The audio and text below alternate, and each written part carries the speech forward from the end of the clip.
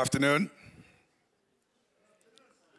I really can't hear you. Good afternoon. I know it's the end of the day. Everybody's eager to go and have a drink. And you'll have to listen to my voice and the voice of the great band we have ahead of us. Now, one of the things I often do to just keep people awake, I start singing. And my favorite song is Louis Armstrong.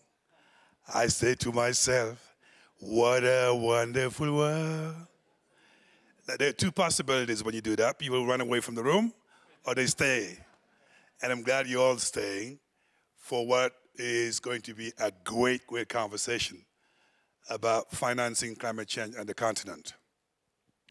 I'm sure most of you remember about four years ago in Paris, there was a great agreement called the Paris Agreement, signed by many countries and seen at the time as a major milestone in addressing climate change globally.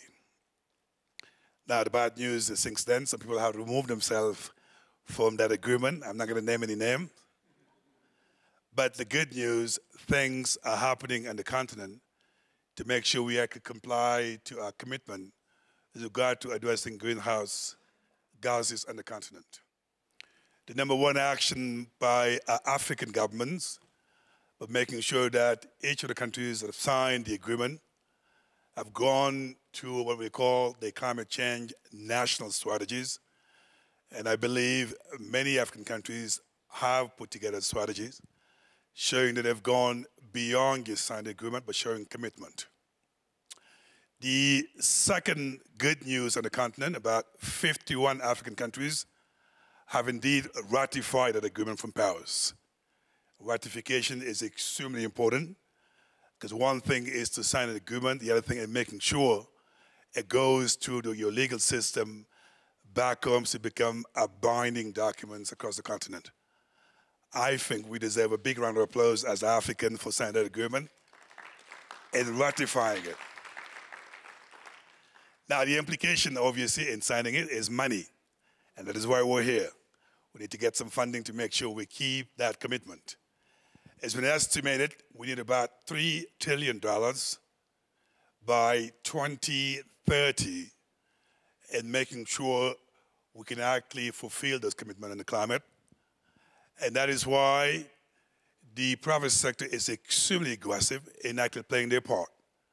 About 72% of that funding will eventually come from the private sector to complement the funding that comes from the public sector. And that is why the African Development Bank, our bank, has decided to put together this alliance to make sure we can actually foster, incentivize private sector contribution in funding climate on the continent. So this is a tremendous opportunity for the private sector, tremendous opportunity for our financial institution on the continent. Before I bring in the director who is behind this at the bank, Anthony to take us through what we are since last time we had this meeting in the same place here in Johannesburg. I want you to put your hands together as I invite on stage the Vice President of the Energy and Power at the African Development Bank, who not only going to set the scene for our conversation, but also welcome you. And I'll come back and keep talking. So, Ole, the floor is yours. Uh, good evening, uh, ladies and gentlemen, uh, distinguished guests. Uh, thank you so much for joining us for this uh, important dis discussion. first and foremost, let me appreciate my heartfelt appreciation for our panelists who are accepting to share their experiences at this practitioners dialogue on the topic that is at the heart of AFDB's mission as well as the mission of uh, the Africa Investment Forum. This session's topic is about innovative approaches to impact investment and greening Africa's financial sector using the platform created by the African Financial Alliance on Climate Change, AFAC. We can no longer separate climate change from investment decision making. It is an influencer in terms of capital allocation, let me put this in context. Almost, almost eight months ago, uh, Cyclone Idai made landfall in Mozambique. Less than six weeks uh, later, Cyclone Kenneth made landfall in Pemba, in, also in mo northern Mozambique, about 600 miles from Idai's impact zones.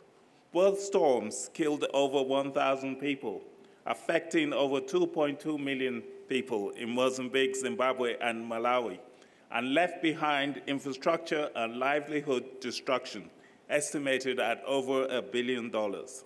In a space of two months, the economies of these countries had to absorb the shock of a billion dollar loss, not counting the loss of life.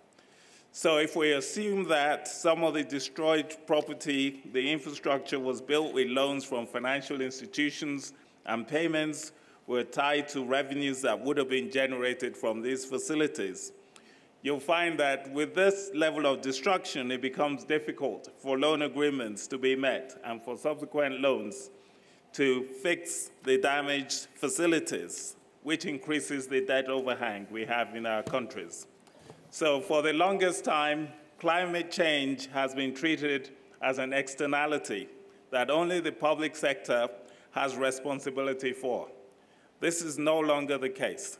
With the growing physical costs that climate change is inflicting on African economies, markets have to be on, on alert, and we have to use market disciplines for dealing with the resulting um, impact of, of, of, of these disasters. In fact, addressing the adaptation needs and aligning with the 2015 Paris Agreement is perhaps the biggest investment opportunity of this generation.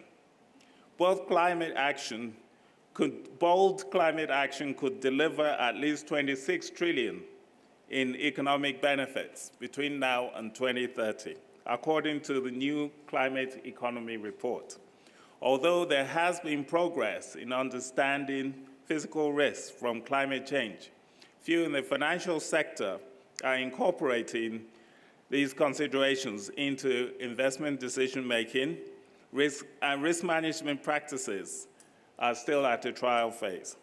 In identifying the financial implications of climate risk, which create enormous opportunities for profitable investments by all types of investors, including both public and private finance. It is therefore imperative that Africa's financial system is aligned to truly unlock the capital necessary to lift millions of Africans out of poverty while safeguarding the planet. The financial system must be able to support the growing number of impact investors who are keen to deliver positive social and environmental impacts alongside profits. The African Development Bank, through its High Five agenda, creates enormous opportunities to invest in Africa's sustainable future. The bank has further committed $25 billion over the next five years as climate finance to accompany such investments. Nonetheless, the bank is also acutely aware that the task is beyond any one institution or a country. It can only be achieved through partnerships. One of such partnerships is the one that has brought us here today, which is the African Financial Alliance for Climate Change. I look forward to a rich exchange of ideas and practical solutions to deliver Africa's sustainability goals, which are the core of Agenda 2063 to build the Africa that we want. Thank you very much.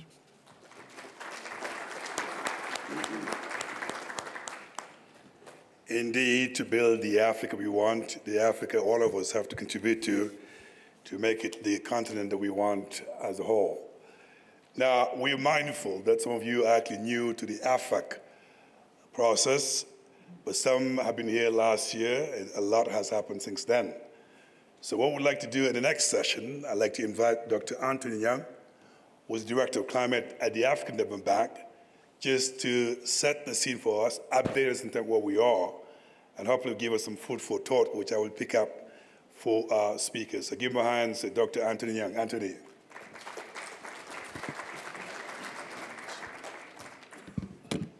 Thank you so very much, and thanks for being here. And thanks to the speakers, Vice President, thank you very much for coming. Um, good. This is a very popular diagram for me. I like to point this out constantly because it basically shows global vulnerability. And when you look at this map, it's a map of Africa, sub-Saharan Africa, as we are impacted adversely by climate change. But then, what do we say? Most of us think this is an environmental issue managed by the ministries of environment, so we push those things aside when it's actually something that affects an entire economy. So climate change is not that which we should continue to confine as an environmental issue. And you agree with me that most ministries, the ministries of, in most countries, the ministries of environment receive some of the smallest budgets to deal with these big global issues. So I keep bringing this out. But how is the financial sector responding to these threats?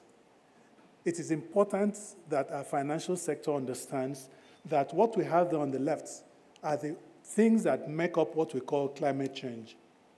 The temperatures rises, the droughts, the excess precipitations, and so on. But what do we have? Climate change basically affects the financial sector in clearly defined ways. The vice president has just talked about uh, debt overhang or where money is borrowed for infrastructure and that infrastructure is destroyed, what happens? So we realize that for insurance purposes, for instance, climate change drives up premiums because somebody just has to pay for it. And then we also see that it brings an increase in uninsurable risks. You can't quantify them. Most of the financial players on the continent are still grappling with how do you quantify the risks associated with climate change. And therefore, pension and sovereign wealth funds, they are adversely impacted. We build roads, we build serious infrastructure. But when these extreme events happen, what happens? Those infrastructures are the first things to go. And then it also leads to default risks in banks which we've just been told this afternoon. And then ultimately, what happens? Financial instability. This is where the central banks are grappling with. So if you look through this, you find yourself somewhere inside this list. And when we have financial instability, what happens? Investors can't come in. So it takes us round a spiral, and we think this is not good enough. Our financial sector needs to wake up, realize the importance of addressing climate change issues. But climate change is not all about doom and gloom. And I think that has been one of our greatest undoing because we've left it so much in the hands of environmentalists. We failed to speak the language of the private sector to understand what is in it. When it's all about risks, I talked about the risk because it is important that our financial systems be climate proofed. We need to protect our financial systems. But then there are also opportunities out there that our financial sector needs to look at. This is the it's not working. This is the population of the world.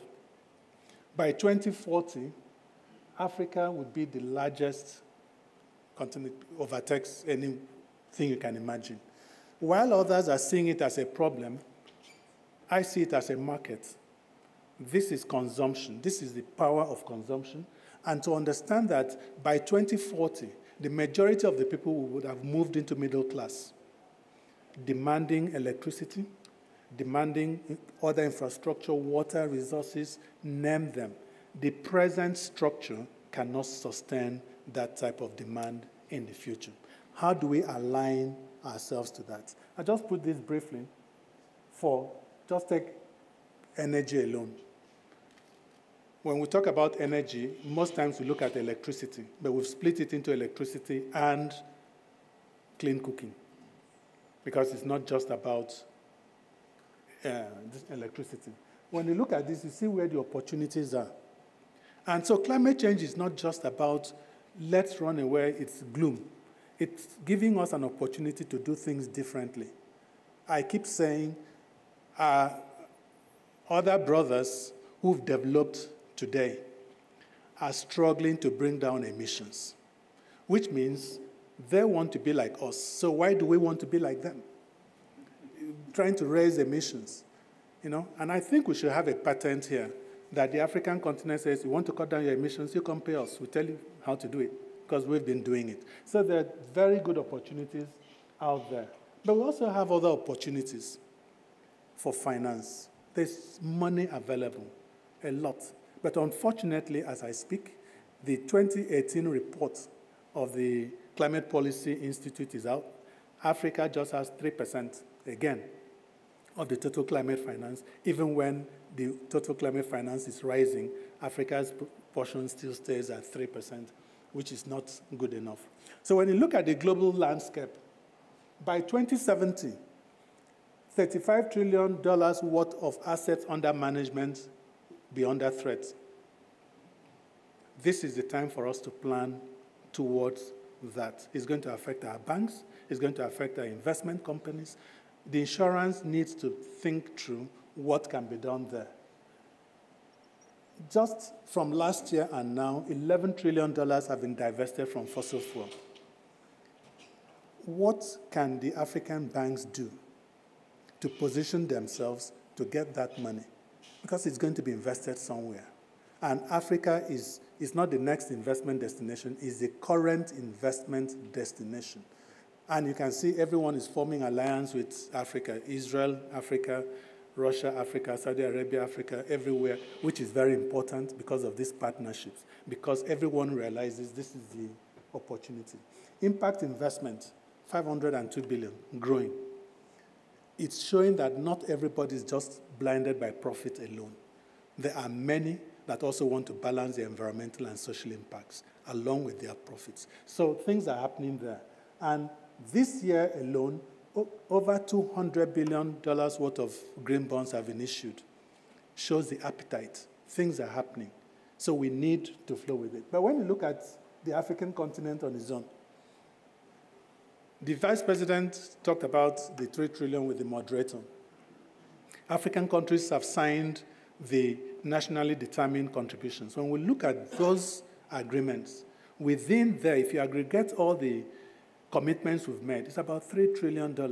We can either look at it as $3 trillion, where do we get that money from? Or this is where we can bring in investors into this market. Everything, almost everything in those indices lend themselves to private sector investment. So if we have a 3 trillion investment opportunity, why are we struggling with just 502 billion in impact investments? When the whole of the 3 trillion is about impact investments. The same for cities. I mentioned cities. We need about 1 trillion to make our cities sustainable and smart cities. And the list goes on. The vice president has talked about the 25 billion which the African Development Bank is putting in.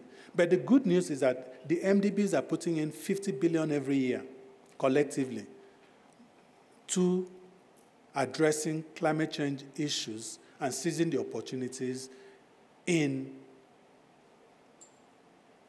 transition economies, and many of them are on the African continent. So there's a lot of resources out there for us to work with. But what needs to be done?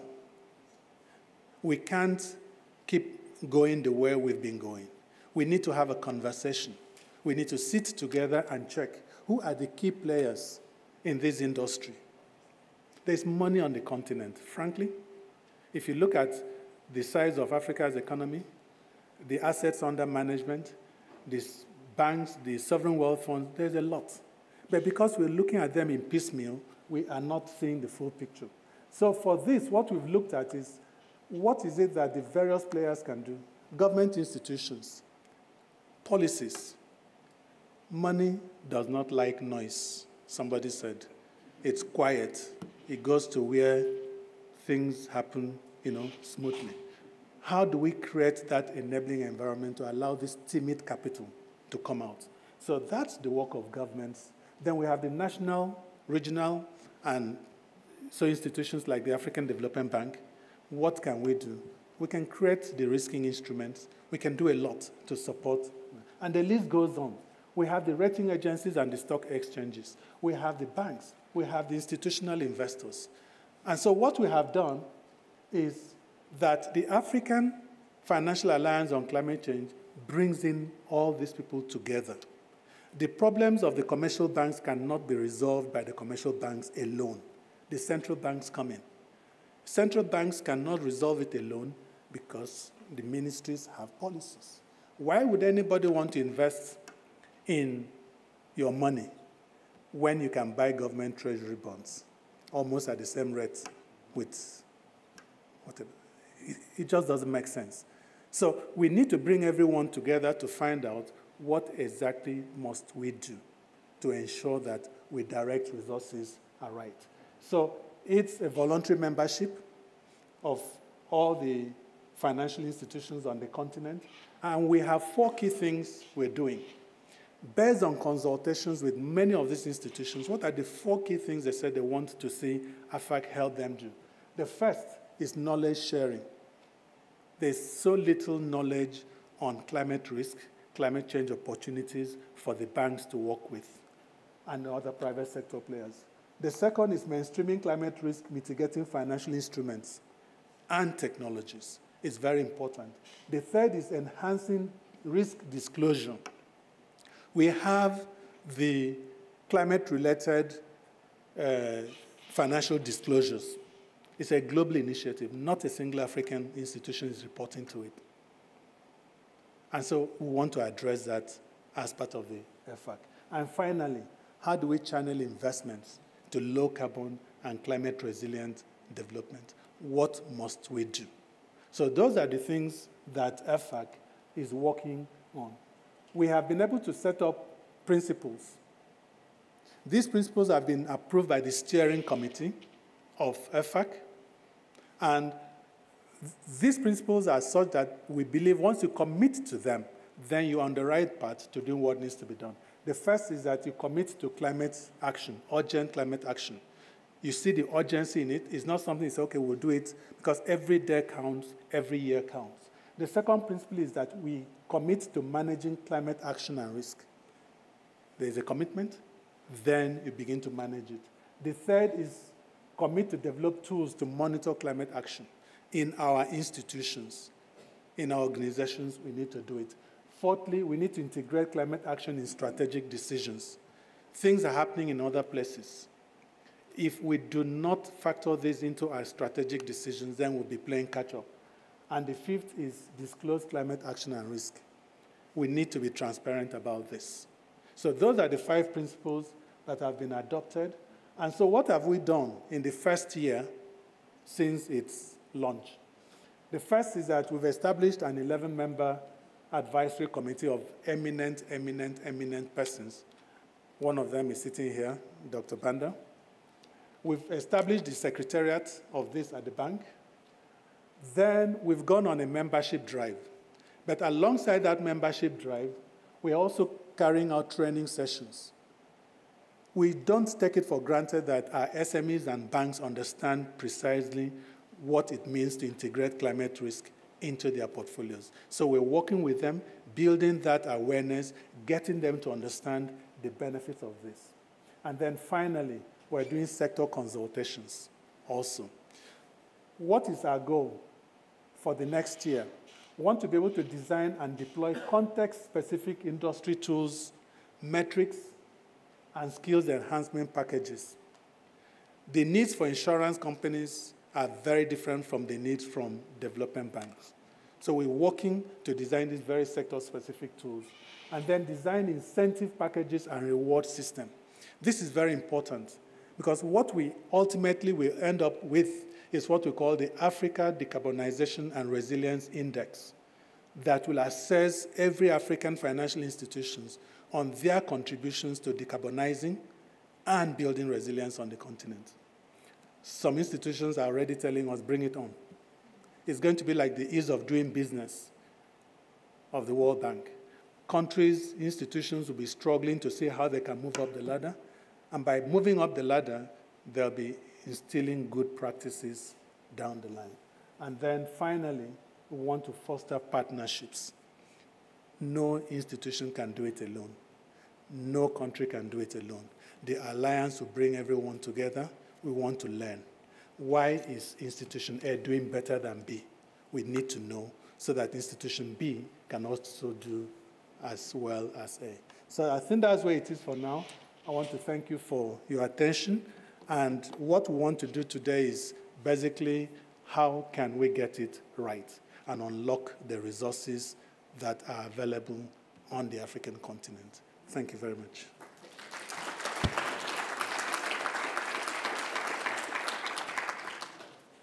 Thank you, Anthony. I like that expression, money does not make noise.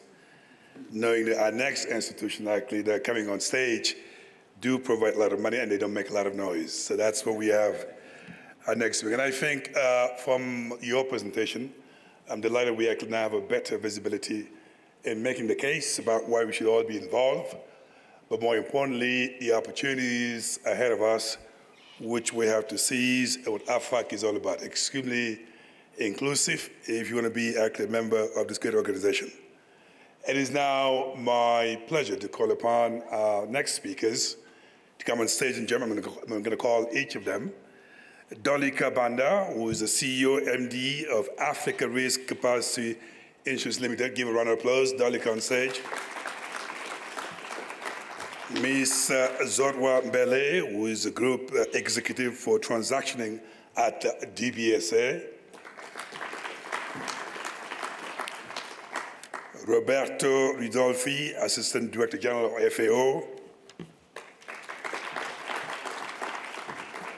And last but not least, Stefano Signore from the EU, is going to join us. I think, Dolika, I'm actually going to start with you and being extremely direct on the question about the funding gap. As you heard Anthony's presentation, talk about the huge gap we have in funding. But if you look at it from a perspective as an opportunity, from where you sit, what needs to be done to actually fill the gap?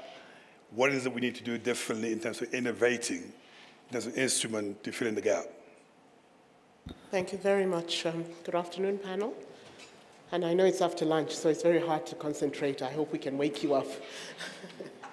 so I think Anthony mentioned we have a, a $200 billion per annum gap to be able to meet the 2030 uh, Paris commitment.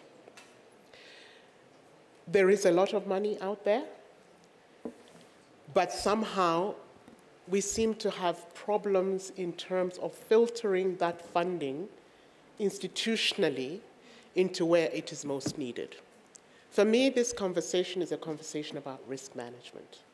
At the end of the day, the impact of climate related um, disasters is going to be a political risk, it is a social risk, and it is a financial and economic risk. I think if we look at these issues in that perspective, then we can start to think differently about how we approach the impacts of climate change and how we approach hazards and try to stem them before they form into disasters.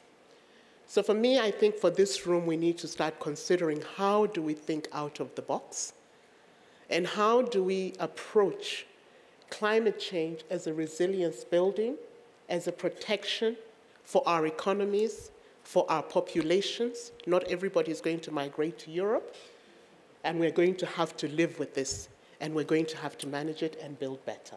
So I think the conversation today should be about risk management, social, economic, political, and how do we tap into all of the different financing mechanisms that are out there and all the different partners that are ready to help with this problem, ex ante, upfront, preparation, pre-financing, the tools are there. The financial sector is one of the most innovative sectors ever. When we wanted to do microfinance, we went through the financial sector. When we wanted to do SMEs, we went through the financial sector. Now we're talking green bonds, we're going to, through the financial sector. I say we elaborate this story. I say we speak louder. I say we think bigger. I say we think out of the box. Thank you, Dolika. I, I guess, Dolika, before I move to the next speaker, my following question to you, though, then concretely, because the organization that you run is entirely focused on providing insurance when it comes to like risk associated with disaster, and in some cases, like climate change. Is what exactly are you doing at ARC, the African Resources uh, Risk Capacity, in providing this instrument to African countries so we can actually bring in the finances needed to address climate change?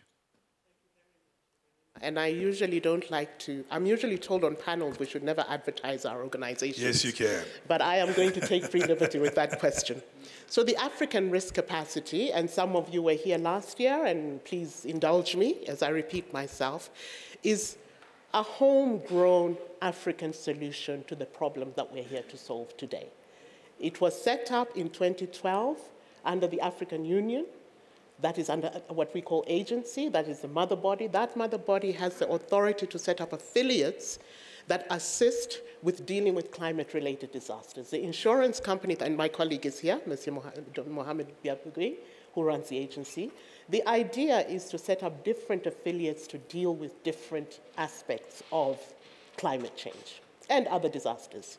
So today we have we cover drought, and we are very close to covering flood, and we are in discussions regarding tropical cyclone. But aside from that, we have gone on to the resilience and protection gap story. Remember, I said this is a political, social, and economic risk. We are now looking, with the help of a number of different foundations and good, goodwill people, at outbreaks and epidemics. We are currently piloting those. So we're really trying to build resilience at the lowest level. Right. Just to show off a little bit, right. we are coming from Cote d'Ivoire and, and, and, and Senegal. We are making a payout to those two countries as we speak of about approximately $24 million.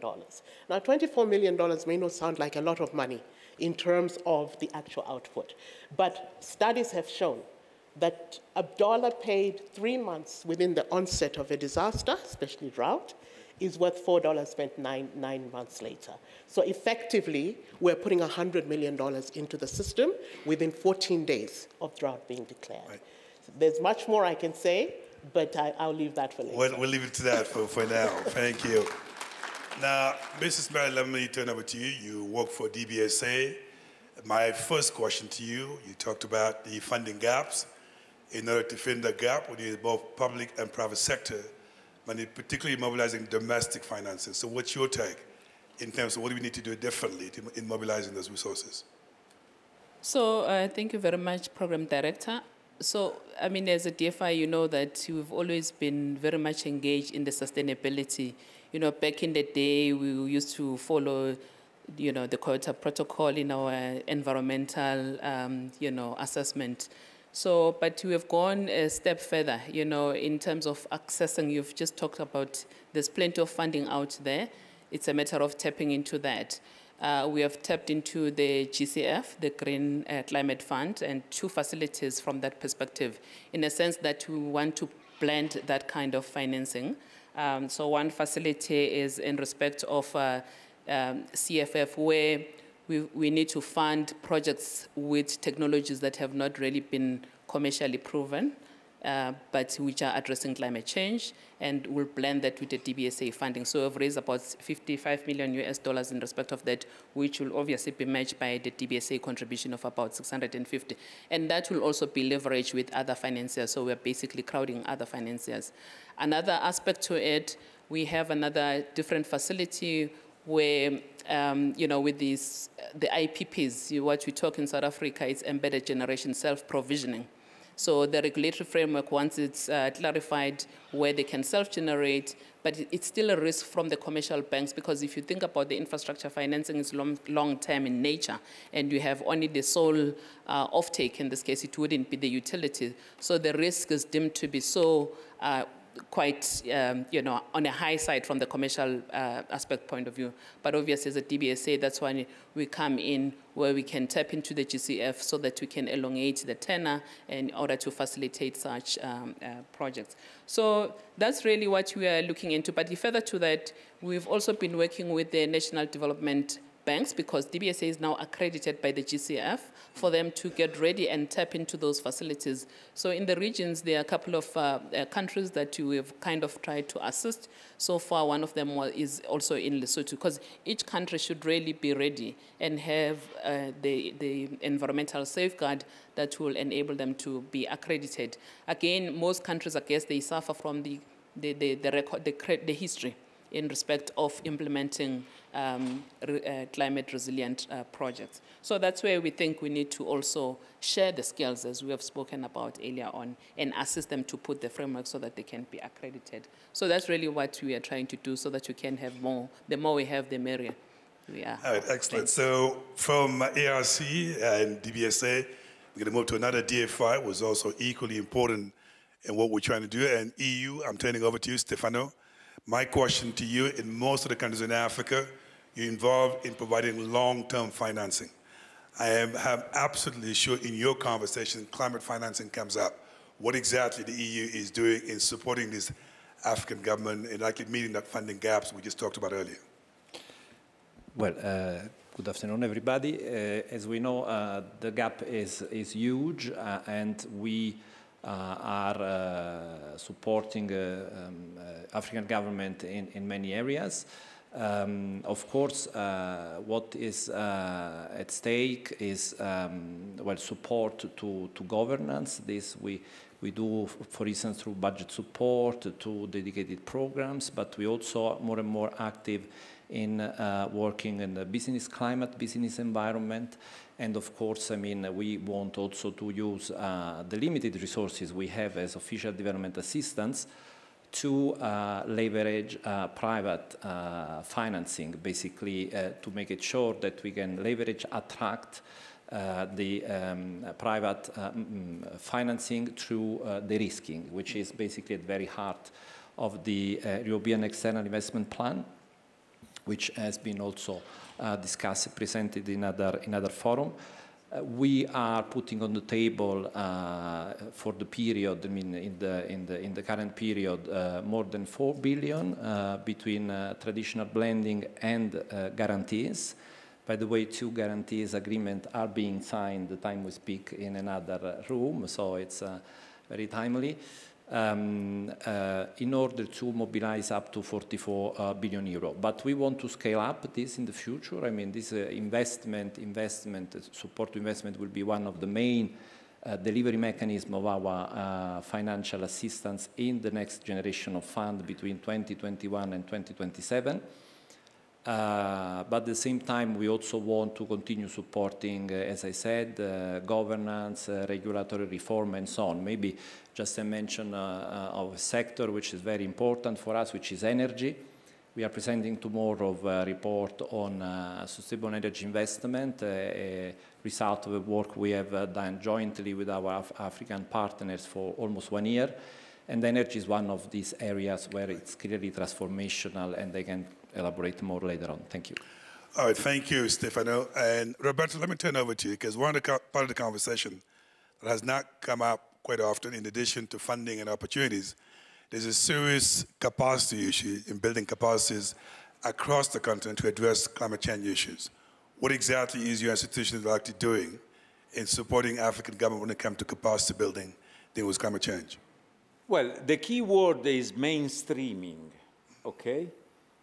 Do we agree here that in order to achieve the 2030 agenda, not only on climate, but on sustainability at large, we need to mainstream it everywhere?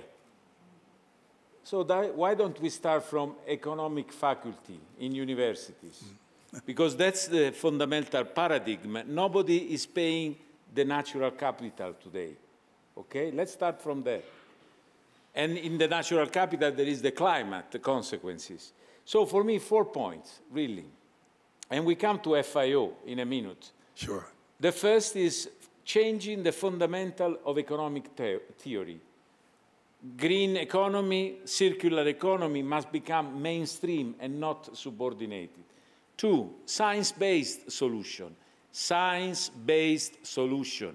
We have to stop fooling ourselves with language in policy papers, which is so nice for the uh, annual uh, shareholders meeting, but in practice there are no tools to translate in metrics what we claim we will do.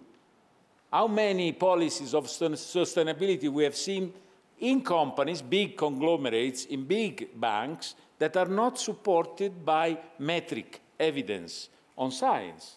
And that metric and evidence exists, is the SDGs, is 244 indicators, complicated, but we can handle. That's where FAO starts uh, coming in. We are custodian of these indicators, so we provide the tools and the metric to measure how much carbon are you trapping with that investment? How much carbon are you reducing through a certain particular attention to your investment in livestock, in agriculture, in everything? We do have a, a, a tool called EX-ACT, which is used by African Development Bank, which is used by World Bank, which is used by uh, IFAD and other partners of our investment center, but is not used by commercial banks. And they manage trillions. So until we, we, we impact on the billions, we don't make the difference. The third point, investment uh, uh, push. Investment push is important. And the fourth point is policy pool. Right. Policy pool is about de-risking by the public. I'm, I'm sick and tired to do de-risking. Eh? I'm starting in 2006 with the GEEREF, the first fund of fund in Luxembourg, where we leverage public money 1 to 32. A fund of fund with public money taking the first loss. 2006. 2007, we incorporated it and we invested in what? in renewable energy and energy efficiency. I'm talking of my previous life as director of the European Commission, of course. But I am sick and tired of the risking. The risking is good, but it's not enough. The risking is good, but it's not enough. We have so many trillions of money fetching negative interest rates. Shall we move them in Africa, where returns are very, very encouraging, or not? is anybody due to the risk? So I'm talking about the policy pool because we can reduce uh, TVA, TVA, TVA, you know, the tax on uh, added value, we can reduce it for, uh, for decarbonization. We can reduce it for sustainability. We can, uh, Credit Agricole, a few days ago, came up with reduced interest rate for investments which are sustainable. And then the investment push, and I close. The investment push is the most important today. Institutional investors, where are they? Who pushes in the investment uh, arena, the consumer or the pension funds? I think it's a push and pull eh, from both sides with the financial markets in between. But the consumer must be get used to buy sustainability. If the consumer wants sustainability, we refuse to buy what is not sustainable. And so you won't have a differential in price in producing sustainably. And that's where FAO come useful to the banking system. Producing tools and metrics, of course, should not be too complicated. Eh? I say always to the PhDs in FAO to be simple, so simple that even a banker can understand you. I have moderated Roberto so many times, but he never surprises me. Always with his thought process and then active food for thought. Thank you for that contribution. I'm going to go to the audience and get some feedback and some questions. Hopefully, we'll keep it as short as possible to get back to. But what I wanted to think about when we came back to at the end is if you look at a platform like AFAC, how do you actually make it work to make sure it's actually inclusive and get as many actors as possible to be on board? because the case has been made. The question is, how do we make it work? All right, so can we take questions? If you could just state your name and then give us a short question, hopefully, we can get back to our speakers on stage. There's a microphone circulating there. Okay, go ahead. Good afternoon. Um, my name is Rebecca Cameron. I'm from ICLEI Local Government for Sustainability, Africa. I feel a little bit like the voice of subnational government at this forum, probably because they're all at the UCLG conference in Durban, busy week for South Africa. But um, I just wanted to kind of really reflect on that, that topic about why aren't we moving the money?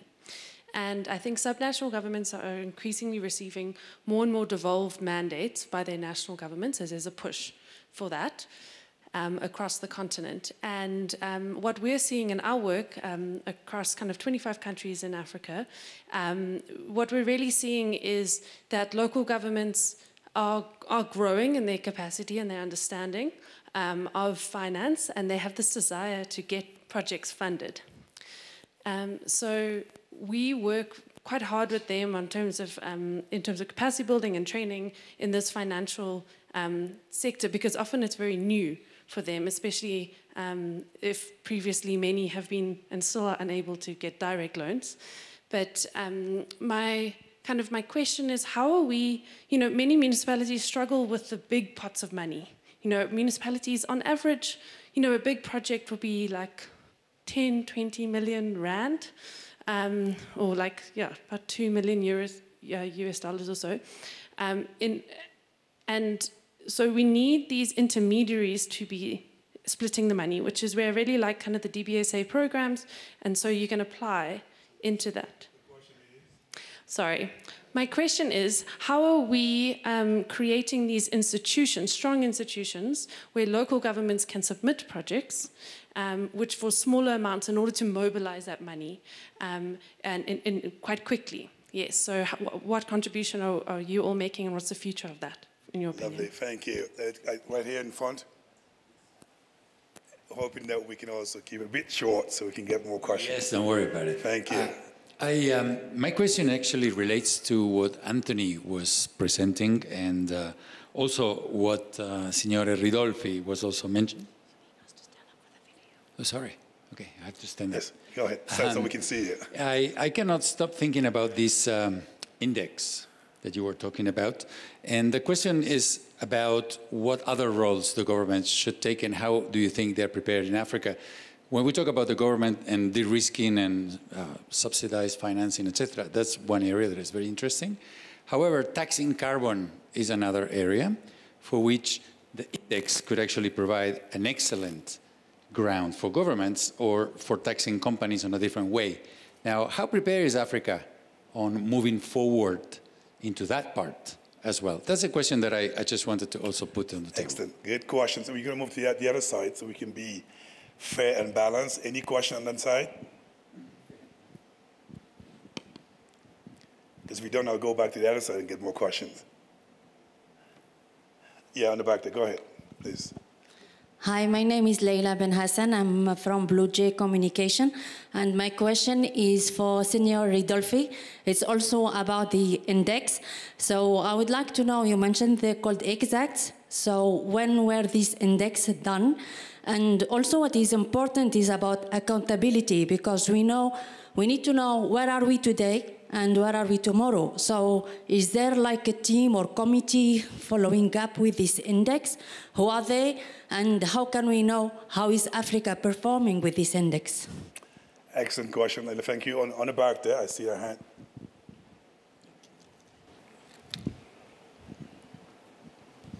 Hi, my name is Devin Naidu. I'm from the Private Finance Advisory Network. We help projects uh, secure private sector finance for uh, essentially clean energy and now more for climate change.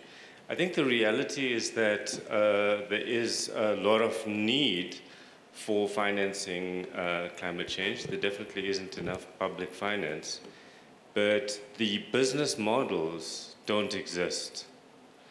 And I think on the basis of the fact that in renewable energy, we've developed mechanisms and we've de developed business models in moving towards climate change projects, more adaptation projects, one should transition from uh, renewable energy into the kind of sectors where you can attract the finance that's available. We know that there's a lot of money out there looking for projects, but where's the business models, where are the projects?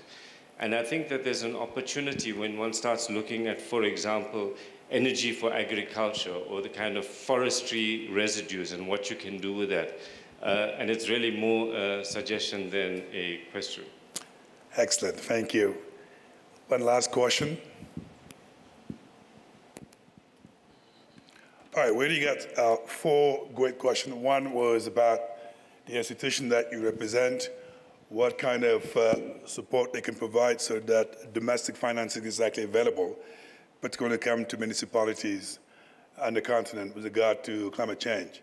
The second question, how far the African government actually can go when it comes to providing the right incentive when it comes to climate change. And the third question about the index, where do we stand on that? And last question is whether yes or no, climate change as the business model, is it something actually viable for any private sector actually want to put some money into it? In not any particular order, Dolika, I'm going to start with you. If you can react to what you heard, and then we'll move on to Mrs. Mbele and the rest of the speakers. Go ahead. Much, um, Ibrahima. A set of um, very interesting questions. Um, I'm compelled to say up front that I think we do. I'm a banker, by the way, Rodolfo, but I, I understood you. So that's good. we, we, we follow the models that we know and understand and feel very comfortable with. So we are following the project finance model and how, which is what we're here to do, but I think I really want to encourage that we start to think bigger than just the project level because we spend billions of dollars investing in the projects, whether it's infrastructure, education, health, agriculture, and we focus less on managing the downside risk. Idai proved to us that all of the investment that had been done by DFIs, private sector, government into infrastructure could be wiped out in three days. Literally three days. The statistics we are still counting is that for the three countries, that is going to be about a 6% dislocation in GDP.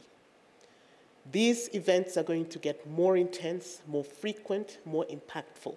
In the Caribbean, Fiji and Vanuatu, between 30 and 37% of GDP is the impact. Africa must prepare for that. We must prepare for that. And I want to link that to the question of how far are governments willing to go. We have been in existence since 2012. We did our first insurance pool, so we pool the risk of African states. We would have wanted to go to the end beneficiary, but affordability is an issue and reach is an issue. So we've started by going at the sovereign level. So our client who pays the premium is the governments of these countries. Since inception, we've had six pools year by year. We go to the agrarian, agrarian season. We have signed 37 policies. Governments, off of their own national balance sheets, have paid $74 million in premium in six pools. We have covered cumulatively $550 million roughly in coverage, and we have protected 54 million people. Now, the insurance has not always triggered, but that is the coverage, that is the protection that African governments have said we do need to provide for this risk, and they have come off of their own balance sheets to do this. So the willingness is there, and we have to meet them halfway. We have to meet them and say, where are you most vulnerable?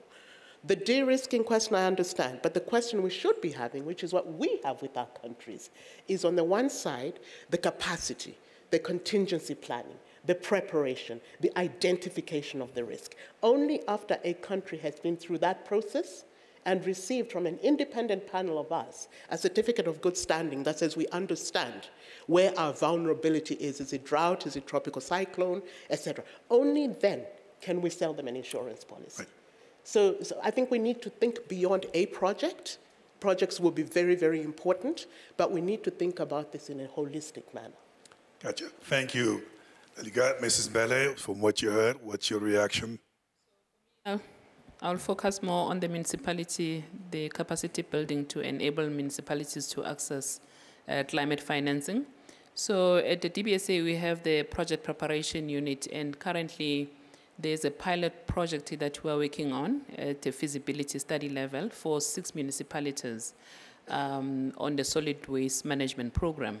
So once that has been proven to work, it will be rolled out to the other 24 municipalities. So, and on a programmatic approach. So obviously, if it's, it is successful, all the other municipalities who have less capacity can opt in into that platform that would have worked out. So there's a number of programs that we run on a programmatic, programmatic approach, like we did with the IPP. It's a similar thing that we're trying to do this time around on the climate facility. All right, so Stefano, turn over to the EU. What's your reaction to what you heard? Yeah, I want to pick up on three questions, but they will be short. The first one on uh, municipality. I think that we are working a lot uh, at, civil, at city level. For instance, we are supporting the Covenant of Mayors of Sub-Saharan Africa, more than 200 cities already, uh, let's say, joined.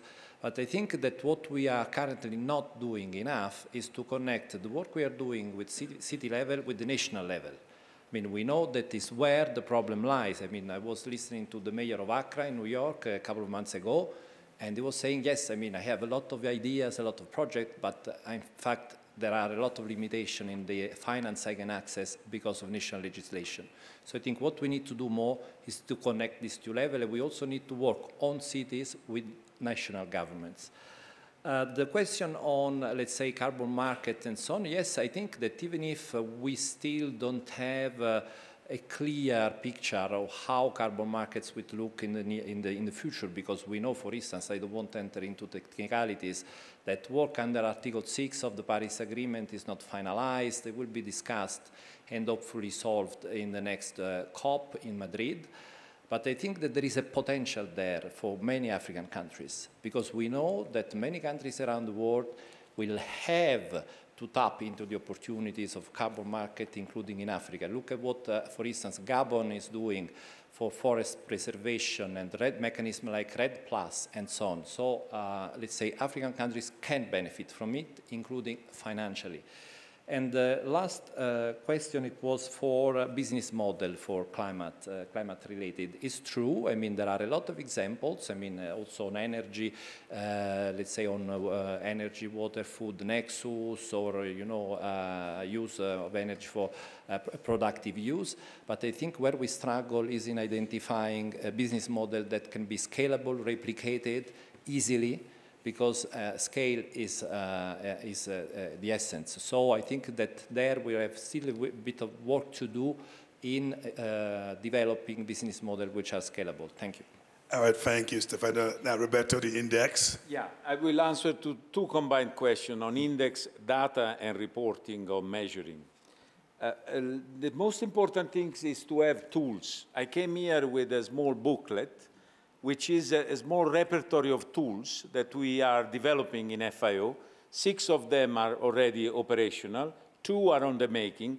One of these six that is operational is this EX-ACT, which is actually a tool to be applied to investment in agriculture and in food systems, so also to the industrial part of the food uh, development, in order to reduce the emissions, measuring them so that you plan an investment, you go to the bank, if you reduce your emission by 40% vis-à-vis the average in the market, the bank give you a discount in the interest rate. Let's put like that. Number two, index. The most important things of index is that they must work for the market. I'm looking at indexes. You remember, the people that are of a certain age would remember that 30 years ago, the cost of financing for renewable energy was here. The cost of financing of oil and gas was here. Today is the opposite. This is due to two big factors. The big incentives and the policy in the European Union, Germany in particular, and then the industrialization in China on the uh, pro production of the components, and also one index that was launched, launched by Bloomberg in New York, an index measuring the degree of uh, uh, renewable energy in companies producing. That index at the beginning, nobody was looking at it. Little by little, the investors, because investors, they look at graphics, at data. They don't think. They just look at figures, or they think too fast. They look at figures, so if the graph goes up, they put the money there, right? I imagine this world of and therefore, we have to create indexes that people investing will look at. like it was done on renewable energy. We launched one, we are trying to launch one on biodiversity, agro biodiversity. So if the company is good in promoting and preserving biodiversity, the index goes up. And therefore, today, you don't look at it, but the pension fund in Denmark tomorrow will say, hey, I like that, let's go for it. And that is the driver in the market. We need to create more and more on that, but we need data. And, and, and to have data, we need somebody that measures it. And again, we are doing this for governments, but we can do these tools and this kind of mechanism for companies and for banks. Roberto is saying that if you're going to present the project in the boardroom for the next couple of days, make sure the graph actually go up so the investors will be impressed. And but thank you very much. Unless we have another burning question from the audience, we're going to wrap up this session. Go ahead in the back. I see a hand.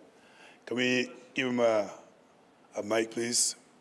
Uh, what's the appetite and uh, direction with carbon capture programs and methane capturing programs? Because there's a lot of talk about markets of carbon, but in the U.S. and other places already, carbon capture systems are in place to capture methane, convert it from capturing it into biodegradable plastic. So there's a business there, but is there regulation there? Are they enforcing? Is Africa looking in this? Even the EU. I know the US is moving forward with it, but I'm not sure about the others. Uh, good question. I saw a hand here on, on this side. Can you just give him a microphone, please? Yeah, thank you very much. My name is uh, Mohammed Mansouri. I work at the FAO, um, the director of the investment center of FAO. I wanted just maybe to respond to the question or try to contribute to the gentleman on the business models. Actually, uh, you know, the food and agriculture sector is, is very contextual in a way.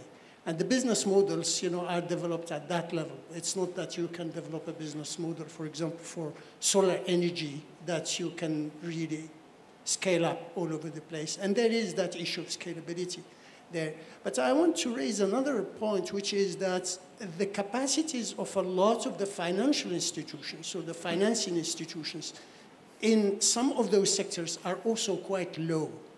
And then that prevents them from having the courage, you know, to go towards those sectors that tend to be a bit more complex, as Roberto was saying, than you know the the, the typical uh, uh, sectors or subsectors, so economic activities, where business models can be easier uh, to to grasp. So the capacity issue is also on the financial sector to equip itself with the knowledge, uh, with the approaches, the methodologies, and so on, in order to be able to respond to the needs. Thank you. Thank you very much for that contribution. I saw a hand here. It's going to be the last, probably one for a wrap up. Go ahead. Thank you very much. My name is uh, Anele Makwaza. Uh, I'm from Igugu Global, which is a green finance deal route based in Nigeria. When we have uh, the conversation around climate risk and, and just transitioning bank, banks and banking as a system, a huge aspect of the challenge we find is that you can't have the conversation with uh, bank executives or C-suite executives if they don't know where they actually are or what the balance sheet looks like. Um, so indexes and the like are very helpful. But from this conversation, I've learned that in the insurance industry, we're maybe making a little bit more progress in kind of defining risk premia across sectors. Uh, but I'd like to know a little bit more in terms of what's being done um, across around extending those risk premia into the banking conversation in terms of risk-adjusted pricing and how we look at balance sheets altogether. Excellent. We'll have to probably, unfortunately, wrap it up at this point. And Dolika, on the premium and the risk extension, maybe you can take that one.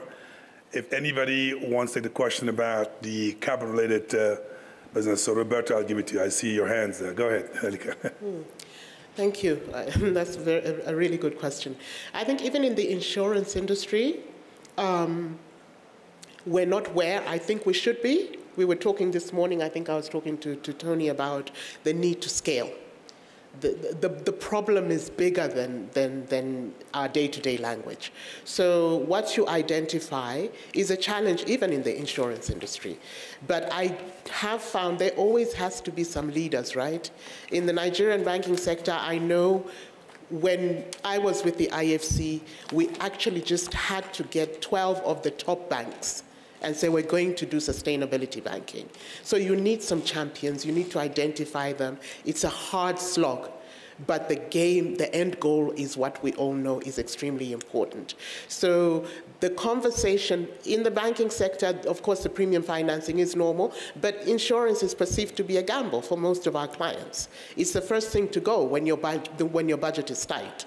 So you have to keep that relationship management. You have to also, I mean, Roberto, you were talking about indices, but you also have to show most of our clients what you would have not lost or what would have been covered had you insured during this crisis or that crisis. So the conversation has got to be very much to the institution or to the end beneficiary or to your client, what is the opportunity cost of not doing this?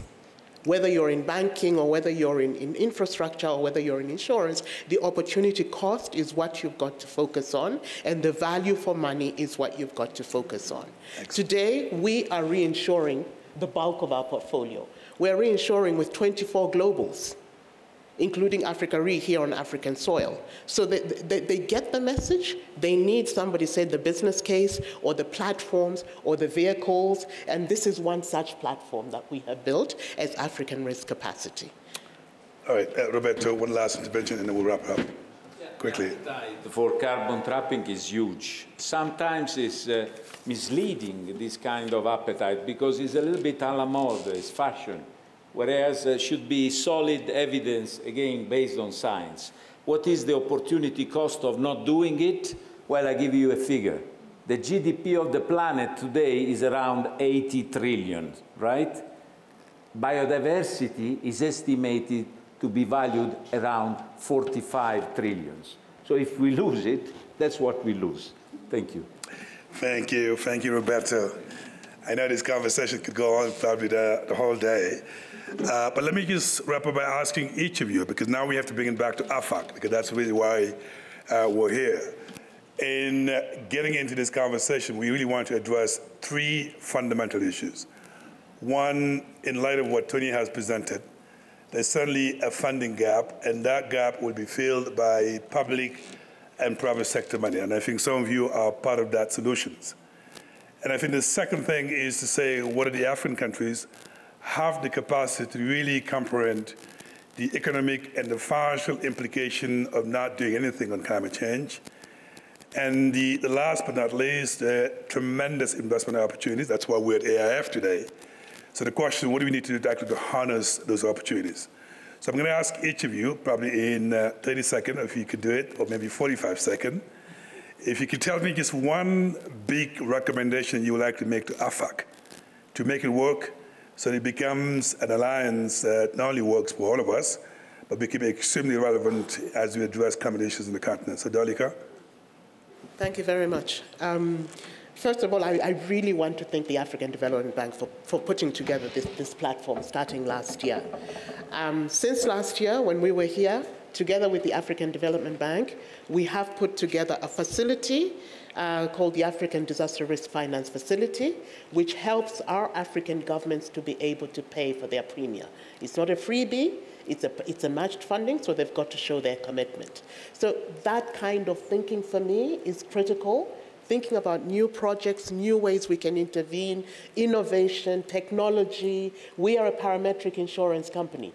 Um, so, so there has to be a new way of thinking, and if we can harness that together with partners, those of you who have money out there, I'm looking at my sister here, please put it in Adrifi with the Africa Development Bank so that we can filter it through to the countries, including municipals. But we have also had help from the donors. They helped to set up this institution.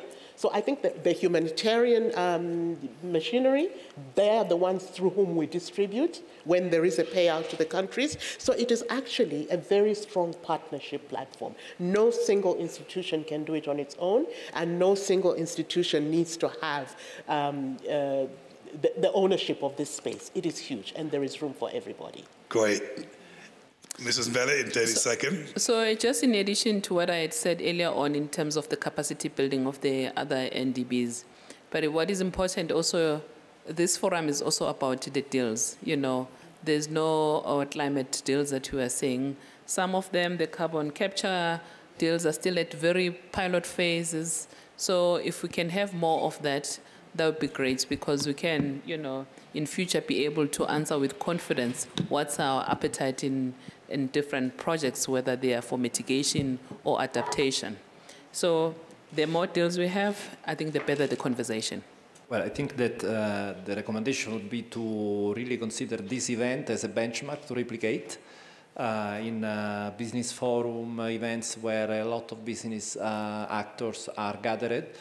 Uh, so whenever there is an opportunity to bring this uh, conversation uh, forward, also including in Europe, for instance, I mean, we have a, platform for sustainable finance that has been launched by our colleagues from DG FISMA, we, we have a number of uh, countries which are associated to it. I think in Africa it's only um, Kenya, Morocco, and South Africa, if I'm not mistaken, and we are happy to connect the dots also with this conversation. Thank you. Excellent. Roberto, last but not least. Yes, tools uh, for this uh, greening the financial system, tools based on science. That's what FAO, that's why I would like to thank the African Development Bank. We want to engage with the vice presidents in order to see how FAO can provide the science of which we are custodian at the service of the platform and the, the alliance. And the last word would be on investment, you say. Investments must be driven by SDG compliance. If we push into that direction, the indicators of the SDGs will go in the right direction. All right, so great, great suggestion as takeaway. Number one, uh, as Dolika said, this uh, can only happen through partnership. And the fact that we have a room filled with different partners is a testimony that AFAC is really in the right direction in bringing the different players together. And obviously that partnership should be driven by innovation, as Dolika said. Number two, we need to really foster some pilot projects to make sure what works, what doesn't work. And then three, we need to really use this as a flagship event whenever we have investment forums so we can actually educate investors about what it takes in climate change. Last question about tool based on science exists. We need to actually make sure we disseminate them.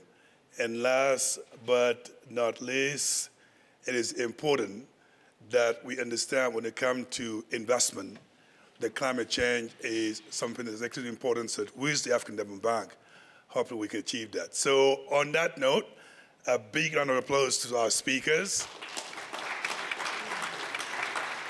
And a big thank to all of you. Now, before we go, we have the vice president in the room. Listen very carefully to the conversation. You have one second to come back and tell us what you heard. Uh, are you confident with the African Development Bank? We are in the right direction. Only come over. You get the right word. Final word. Right. I'd like to thank everybody for a very stimulating conversation. I think that um, We've already started. Um, we have some great thinkers on the panel and also at our various partner institutions. We shouldn't underestimate the power of innovation, and we're seeing it already in terms of financing climate, climate change, like um, Tony said, we should see it as an opportunity. And um, there, there is a lot of money to be made. People in this room understand the language of money. So the DFIs are there just to help make it happen. You know, we'll provide um, uh, you know, first loss and all other kinds of mitigants to allow us to mainstream climate finance. So thank you so much for your. Uh... Now, given that at the African Development Bank, this is really a cross-cutting issue, we are delighted to actually have in the room the Vice President of Agriculture of the African Development Bank, who's right there. And Jennifer, if you can stand, just be recognized. This is the Vice President of Agriculture at the African Development Bank. I'm a bit biased because we went to the same school in the US, so Jennifer. But obviously, we've been talking about drought and all these things that affect agriculture on the continent. So it's really important to have somebody will focus in other sectors as well. On that note, you are free to go. That was a great, great session, but thank you very much. Well done.